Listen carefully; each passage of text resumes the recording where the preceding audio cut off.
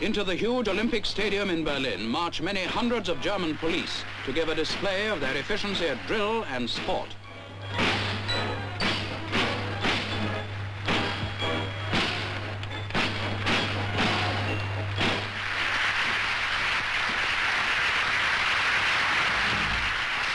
Before a crowd of more than 100,000, the police show their skill at gymnastics.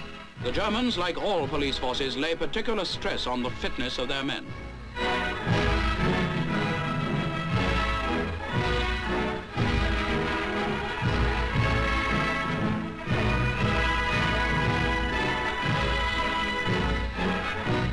As night falls over Berlin, displays such as these show Berliners that their Olympic Stadium need not be a platform for the incitement of war.